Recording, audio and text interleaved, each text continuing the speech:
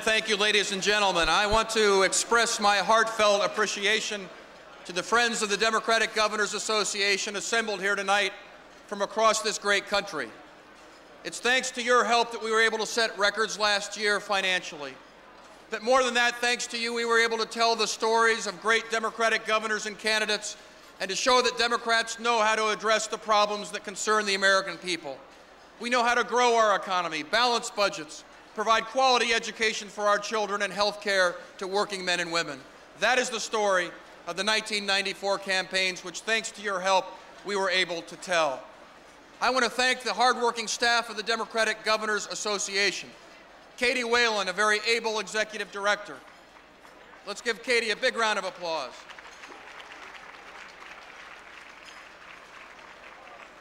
Doug Richardson, Caroline Cunningham, of course, our treasurer, Mark Weiner, you heard earlier this evening. Mark, and also our finance uh, director, Eric uh, Hansen, who's here in the crowd also tonight. I'd like to compliment Governor Mel Carnahan for the wonderful event we have this evening. Mel, you're carrying on a great tradition. Let's give Governor Carnahan a big round of applause. Governor Carnahan has shown that the Democrats are off the mat back in the arena, fighting the good fight, and will go on to electoral success this November. And when we do, it will be thanks to good leadership at the Democratic National Committee. Leadership like our General Chairman, Senator Chris Dodd, who we will hear from a little bit later. Chris, thank you for coming tonight. And also leadership from our Chairman of the Democratic National Committee, a man who has worked in the vineyards of our party for many years. In the state of South Carolina, with the Democratic National Committee, he has been there for us in good times and bad, and he will lead us back to success in 1995 and 1996. I am pleased to introduce your friend and mine, Don Fowler from the great state of South Carolina. Let's give Don a big round of applause. Good luck. Thank you. Governor Bayh, thank you.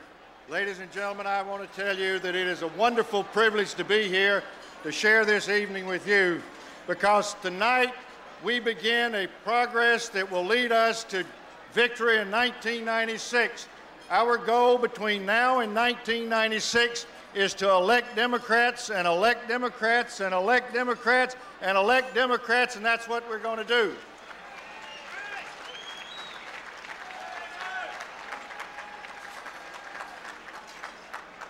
We have a lot of things to do between now and 1996. We have to raise money. We have to improve our technology. We have to improve the delivery of our message.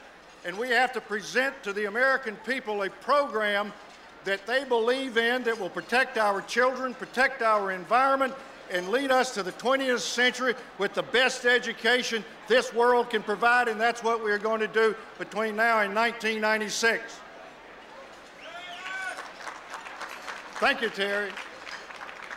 Now, Katie Whalen told me I could speak for two minutes, and I'm going to be true to her instructions. But I want each of you to pledge that with the governors of this great nation, the members of the United States Senate, the members of the United States Congress, and our great President Bill Clinton, that we'll, we will be united financially, spiritually, in terms of issues, and we will achieve for America what America deserves. Democratic victory in 1996, and thank you very much.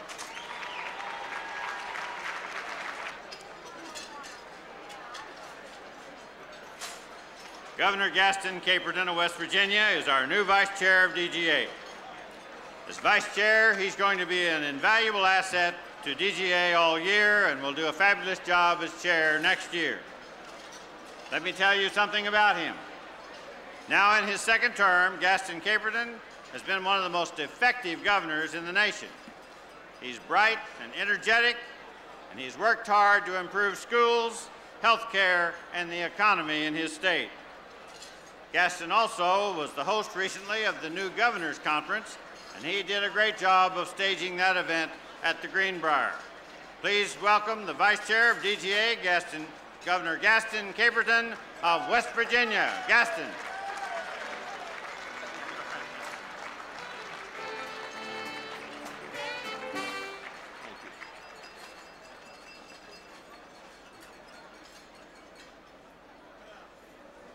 Ladies and gentlemen, I have the great honor to introduce a man who was tired of just having himself called a senator and wanted also to be called a general.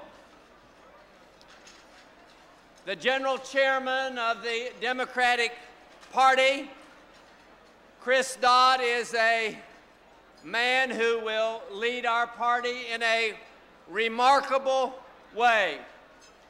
So, ladies and gentlemen, let this man know how much you appreciate him, not by how much you clap, but by how quiet you are when he speaks. Senator Dodd.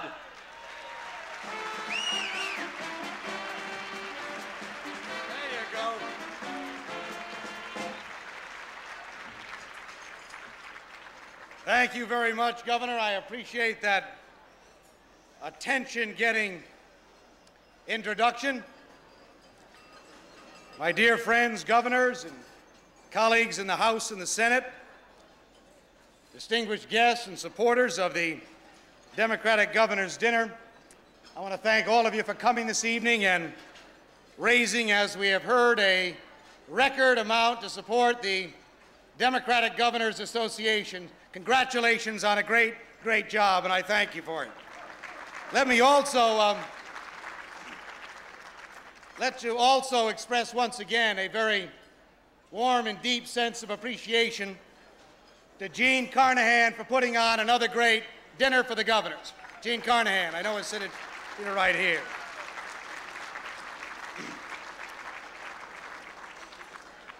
Now, I want you to know that there were many reasons on why I agreed to accept the President's offer to be the General Chairman of the Democratic National Committee for these next 21 months, not the least of which is the following. I've served in the United States Senate for 14 years, served in the majority for eight years, and I never got to be called chairman. Today, I'm the only Democrat on Capitol Hill who gets to be called Mr. Chairman, and I thank my colleagues for it. But let me add, let me add just as quickly, in 1996, we're going to change that, and Democrats are going to be called Madam Chairman and Mr. Chairman once again, with strong bipartisan support. Let me just briefly say to all of you here, I look forward to working with this association, working with Don Fowler, working with the mayors, members of the House and the Senate. For far too often, the Democratic National Committee, in my view, was a distant organization from those who were office seekers and office holders. Don Fowler and the Democratic National Committee, Committee and this United States Senator intend to change that. Henceforth, the Democratic National Committee's headquarters will be in Washington, but its heart and its soul will be in the 50 states. We're going to be listening to our governors, listening to our mayors, listening to those people who are out there every single day working hard, trying to make the Democratic Party a stronger and a better organization. Now, let me also say to you that we need the advice and the leadership and the help of the Democratic governors. Not just because you've been elected or reelected, but some of the best ideas in this country have come out of our state capitals under the leadership of our Democratic governors. In Florida, where Governor Lawton Chiles initiated Healthy Homes, this initiative has greatly expanded access to health care with market-based, managed competition approach. In North Carolina, Jim Hunt has set demanding new standards for public schools and established a Smart Start program to provide quality daycare so that every child could start school ready to learn. In Georgia, Governor Zell Miller, Hope Scholarships make a dream of a college education real for thousands of students across his state. And in Colorado, Roy Romer led the fight for tough, mandatory sentences for children possessing guns. In Vermont and Indiana, Governors Howard Dean and Evan Bayh have the only two statewide welfare plans in the nation. Not just demonstration programs, but real online projects that are making a difference in the lives of people in their states. Democratic governors across this country are not just talking about change, they're leading the way.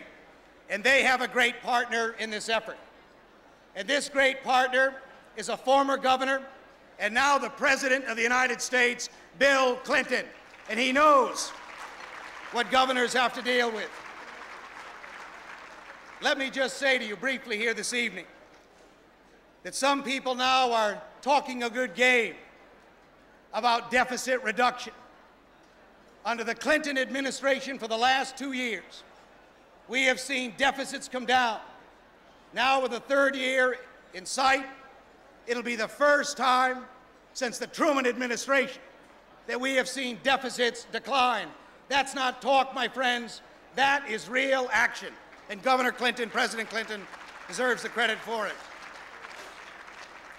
In the area of job creation and downsizing the size of the federal government, again, it's not just talk, it's action. Something that every single Democrat in this country can be proud of. Almost six million new jobs have been created. We've seen government shrink to the size of the Kennedy administration. Again, that's not talk, that's real action. So, my friends, when our Republican friends talk about what they want to do in job creation, deficit reduction. They talk about shrinking the size of government. Democrats haven't been talking about it. We've been doing it from the state houses to the White House, and we're going to continue on that track. So tonight, my friends, let me just make the commitment to you that in 1995, we've got some 75 mayoralty races in the country, and we're going to fight in each and every one of them. We've got three governor's races. And I'm here to tell you tonight that in Louisiana, in Mississippi, and in Kentucky, Democrats are going to regain or hold our seats where we have those seats already. So I look forward to working with you. We're going to have a great year in 95, a better year in 96. The people that we represent and have fought for deserve nothing less. We'll win their support not just because we're better at politics, We'll win it because they count on us to fight for them as they seek better jobs, a better education for their children, and a better future for their families. That's a Democratic heritage. Let's get out and fight for them. If we do, they'll vote for us. Thank you. God bless. Let's look forward to working with one another. Yay.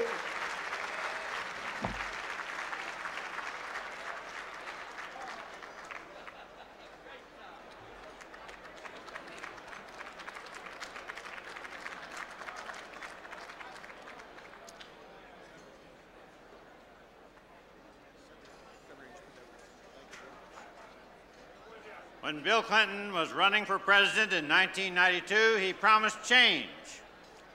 And he's delivered on his promises, improving the lives of Americans in countless ways.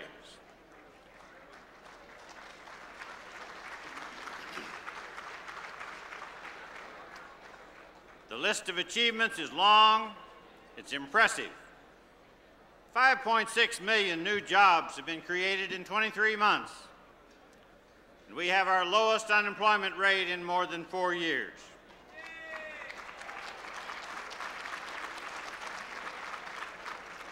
President Clinton put in place the largest deficit cutting plan in history, and the country's deficit will go down for the third year in a row. The first time it's done that since Harry Truman was president.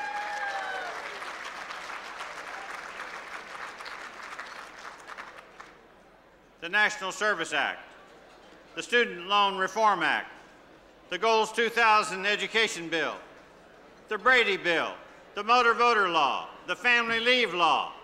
All of these important measures are now the law of the land because the President pushed for them.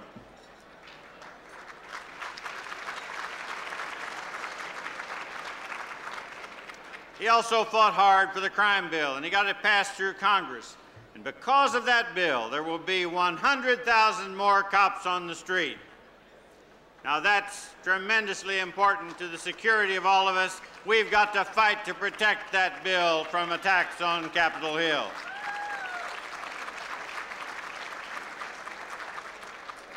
And now the President's turning his attention to welfare reform.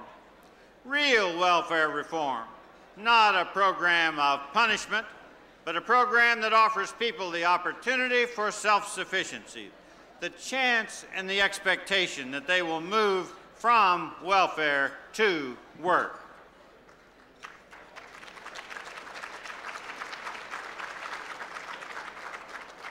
To Democratic governors, Bill Clinton is a special friend and a former colleague. He's probably been to more of these DGA dinners than anyone in the room.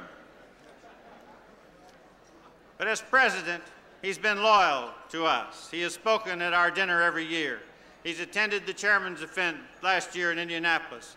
He came to many of our candidates' fundraisers last year. We thank the president for his courageous work, for his continued support, and for his friendship. It gives me the greatest pleasure to bring to you the most prominent member of the Democratic Governors Association Alumni Club, a good friend, a trusted advisor, a tireless supporter of Democratic governors. Ladies and gentlemen, the President of the United States.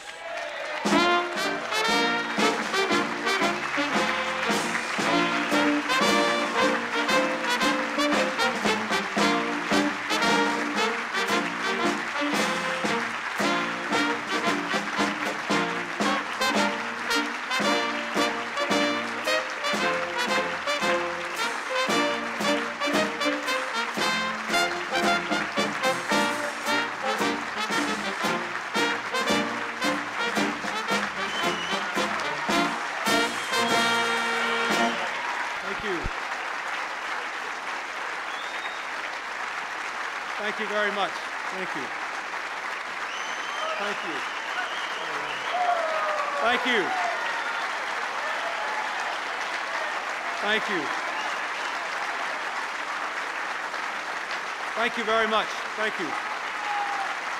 Thank you. Thank you. Thank you. Thank you. Thank you very much. Thank you. Thank you. Thank you. Thank you very much.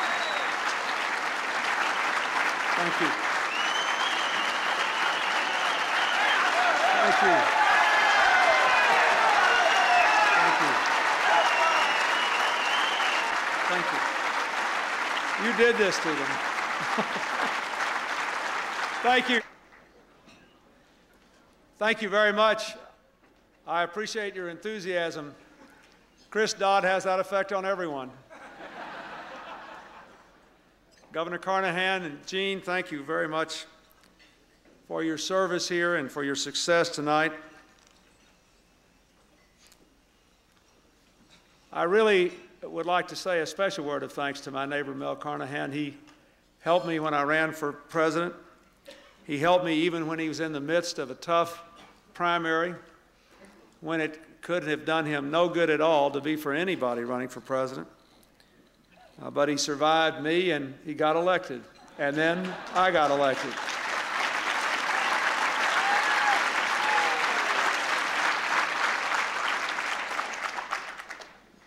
We've worked together fighting floods, reforming welfare, doing a lot of things, and I am honored to be his friend and his partner. I want to say a, a special word of appreciation, too, to the DGA Vice Chair, Governor Caperton, and Rachel. I have been their friends a long time, and I'm looking forward to working with them. I also want to say a personal word of appreciation to your outgoing chair, Evan Bayh, and to Susan. They did unbelievable work with the help of a lot of you in a very, very difficult year. And I will never forget all the efforts Evan Bayh made. And, uh, you know, where I grew up, we always say it's a long road that doesn't turn. And when the road turns, don't forget that Evan Bayh was there for us when it was tough, and he did his part.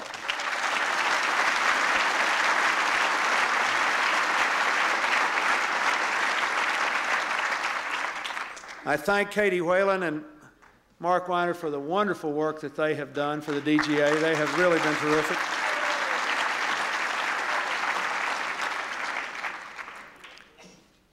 I'm sure glad to see all of you. and you're so quiet. You know, over uh, New Year's, I was talking to a lot of interesting people, and a lady came up to me who was a college president and said, she said, you know, I really identify with you. Being president's just like running a cemetery. There's a lot of people under you, but nobody's listening. and, well, I had that feeling for the last couple of years from time to time, but I think that also is beginning to change. Lord knows I gave it a good test last Tuesday night in the State of the Union.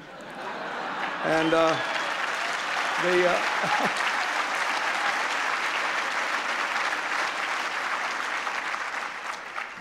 and it turned out the American people were listening. I want to express my appreciation also to Chris Dodd and to Don Fowler to Debbie DeLee for leading our Democratic Party. I, I thank Chris and Don especially for being willing to come on at this time and to help us remember who we are and why we are Democrats and what it is we're supposed to do now. And I think they have done a wonderful job of it.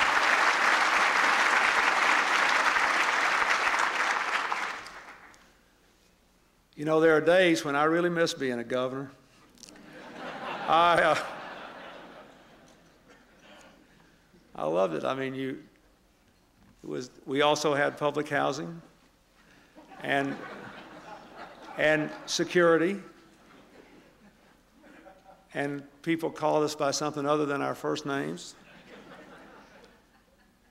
But nobody ever sprayed the front of the governor's mansion with an assault weapon or tried to land a plane in my backyard. I, uh,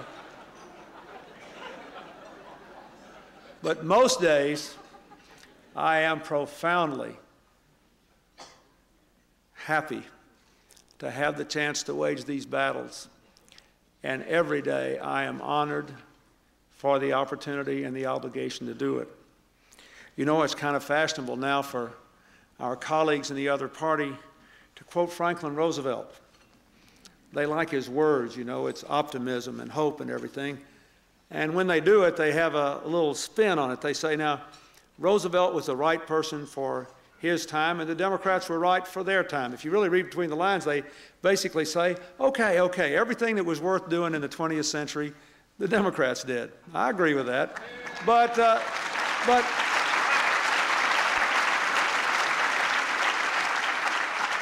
But their line is something like, uh, well, the reason that's so is that in the 20th century we had an industrial age dominated by large, powerful organizations, and we needed a Democratic Party that was the party of national government to protect the common people and the little children and the elderly and others from abuse by large private organizations. But in the 21st century, the world will be very different. It will be uh, more rapidly changing, more entrepreneurial, less bureaucratic.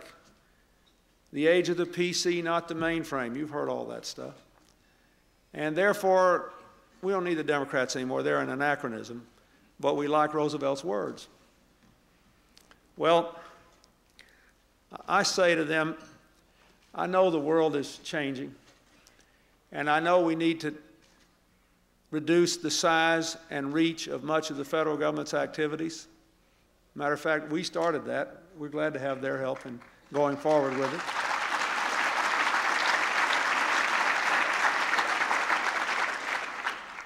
But the issue facing America is the issue that has faced America from the beginning, and certainly the issue that has faced America repeatedly in the 20th century as we stand at the dawn of a new era. It is still can we really guarantee the American dream for all Americans willing to work for it? And can we find ways, with all of our incredible differences, to come together as a people to do what we have to do. If you go back through the 219 years of American history since the issuance of the Declaration of Independence, you find those challenges over and over and over again. Will we do what it takes to expand the American dream and keep it alive for all of our people? Can we find a way with all of our differences to come together? Because we know that's the only way we're ever profoundly strong. And I say to you that there is still something for the Democratic Party to do. If the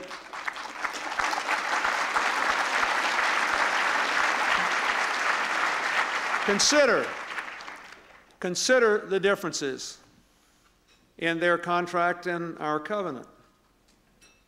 Consider what is good about what they want to do, what is good about what we want to do, and what is sort of open to question. And you will see where we should go. Because there is no question that if we really want to guarantee the American dream in this new economy for all of our people. What we have to do is to empower people to make the most of their own lives, to find a way to continue to enhance opportunity even as we shrink the bureaucracy, and to strengthen our sense of citizenship and community as a fundamental condition of America's security, opportunity, and responsibility. Yes, yes, yes, we must change the government. Yes, we have to shrink it. There's 100,000 fewer people working for the federal government than there were on the day I became president, and there'll be another 170,000 more leaving if no new laws are passed by this Congress. But what about empowerment? Which party wanted family and medical leave? Which party wanted to immunize all the children in this country against serious disease. Which party said we can't afford to keep wasting money on the college loan program? Let's cut the cost of it, make it available to more Americans, and make it cheaper for students. The Democratic Party did that.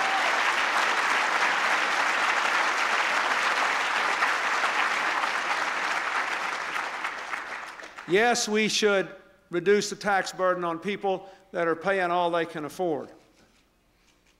You know, that's the only secret I kept from the press in the last two years. We cut taxes on 15 million working families, kept it a total secret from the American people. I'm still trying to figure out how we did it, but it's not too late to let them know. Yes, we have to do better, but there is the right way to do it.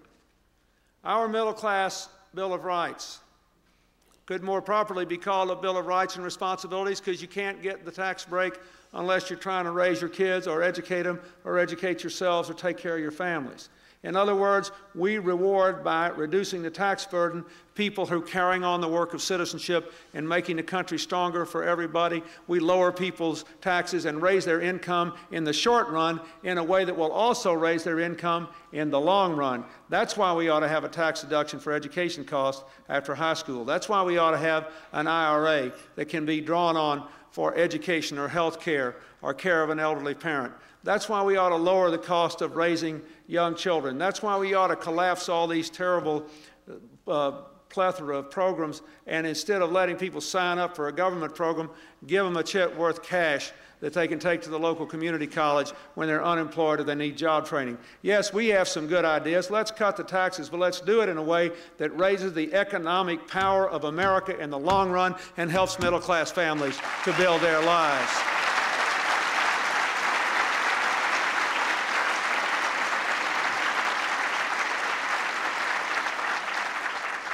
And while we're at it, let's not forget that the last time the country got in a total fever over tax cutting, we overdid it and we wound up with a terrible burden. And the Democrats are not blameless because then there was a Republican president and a Democratic Congress. And when power is divided, one of two things can happen.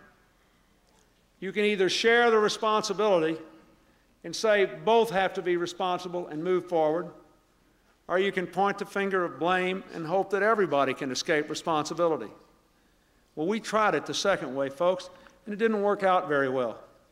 When you make out your checks to the federal government to pay taxes in April, remember this.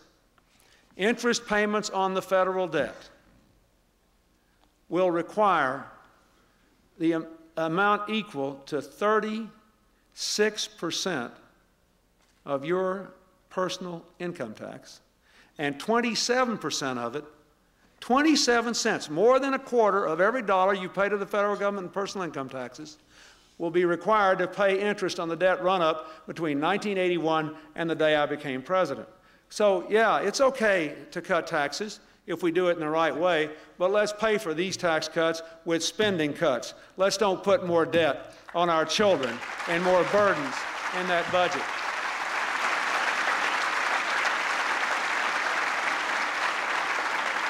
So,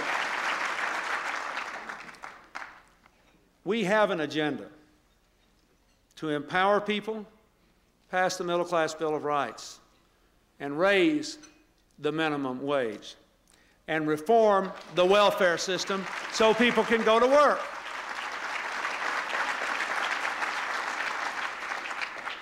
And we have an agenda to reduce government more. The Vice President's coming back with another round of reinventing government. And we're going to make it smaller, and we're going to have it do better. Look at the way the emergency management programs work now. I just talked to the home builders today in Houston, and I reminded them that Henry Cisneros, since he's been head of the Housing and Urban Development Department, has reduced the size of that department by 10%, eliminated all the regional offices, and cut the time for loan processing from four to six weeks down to three to five days. That's a democratic way of reinventing government that serves better with less.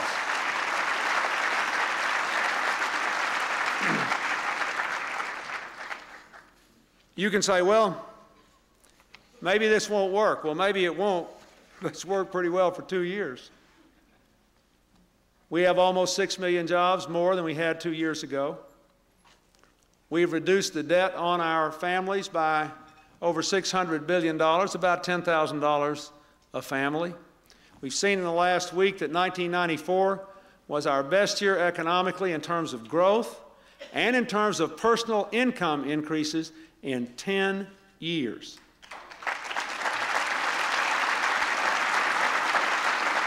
And,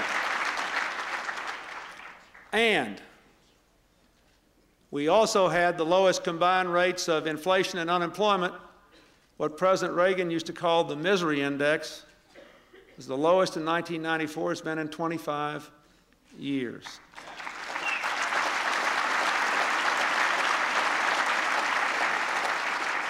But we have a long way to go because we all know that our rising tide's not lifting all boats. We know that a lot of people are not doing better economically. We all know there are still challenges ahead. But let's keep our eye on the goal. What's best for the American people? Empower them to compete and win. Do what we can to give them a government that offers more opportunity with less bureaucracy. And finally, let's not forget that for those who are willing to be responsible, this country is best when it works together, when there's a sense of partnership, a sense of citizenship, a sense of community. We have worked with innovative governors in this room and their predecessors in health care and welfare reform. We've worked with governors like Governor Chiles, Governor Kitzhaber, Governor Dean on health care reform and we're not through with that issue. We plead guilty to wanting to get the 40 million Americans, most of them in working families, who can't have health insurance. We think we ought to have it for them, and we think there must be a way to do it that all Americans can agree on. We feel we.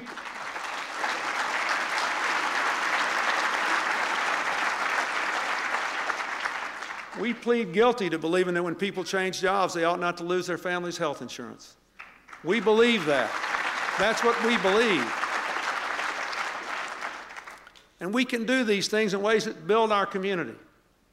Watch the debate on welfare reform.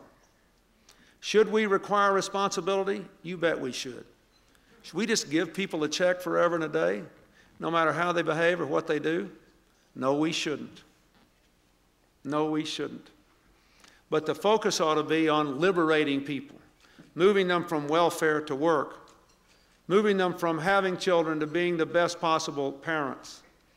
It should not be on punishing people because they're poor or because they made a mistake. If that were the criteria, a bunch of us were once poor and all of us have made mistakes. And none of us want to be punished for either one.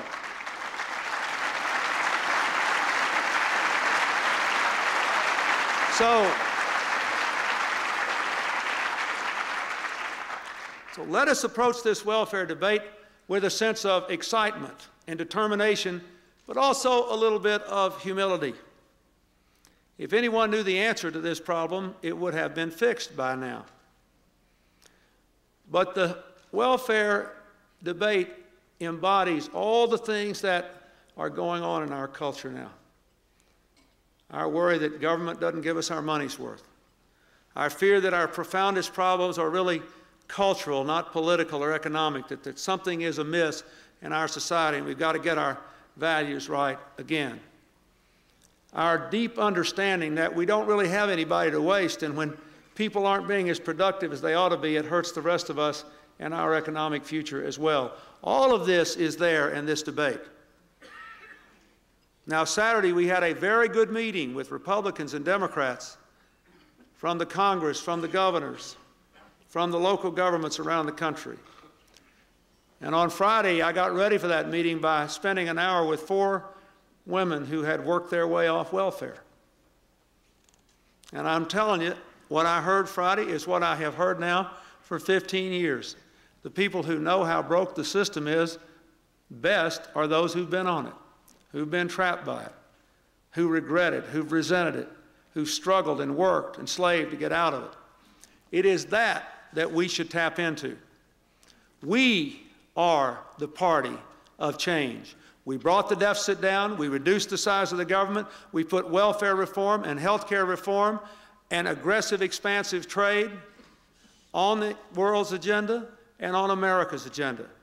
It was our administration that first had a commerce secretary like Ron Brown that went around selling American products all over the world, not the Republicans.